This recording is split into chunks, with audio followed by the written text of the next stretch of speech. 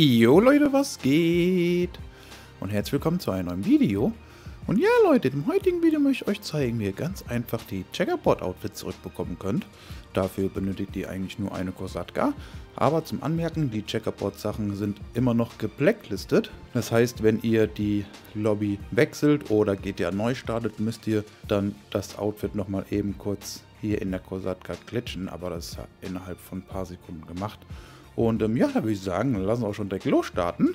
Wir begeben uns dann einmal zur Kosatka, hinten da zu den Taucherausrüstung, registrieren uns einmal als CEO-Präsident. Als nächstes wählen wir uns jetzt das Outfit aus, wo die Checkerboard-Sachen drauf sind. In meinem Fall habe ich jetzt hier noch ein Outfit, wo die Checkerboard-Brille drauf ist. Ihr seht, das Outfit verschwindet. Wir gehen dann hinten zu den Taucherausrüstung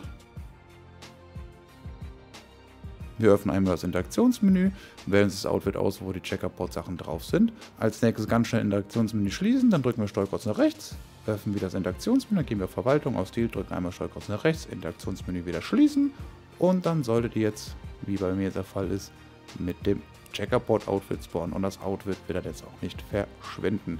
Sollte jetzt dann das Taucher-Outfit oder das Standard-Outfit anhaben, dann, dann habt ihr das Timing nicht richtig gehittet. Einfach nochmal neu probieren und im zweiten, dritten Anlauf sollte es dann spätestens funktionieren. Und ja, so könnt ihr euch wirklich sämtliche Checkerboard-Outfits euch zurückholen. Und ähm, ja, im nächsten Video werde ich euch dann auch mal nochmal einen neuen Transfer-Glitch zeigen, wie ihr ein Checkerboard-Outfit über den Transfer-Glitch bekommt. Und ähm, ja, Leute, das war es auf jeden Fall mit dem Video. Ich hoffe, es hat euch gefallen. Wenn es denn so sein sollte, würde es mich auf jeden Fall freuen, wenn ihr mir noch ein Abo und ein Like da lassen würdet. Und ja, dann würde ich sagen, bis zum nächsten Mal. Ciao, ciao.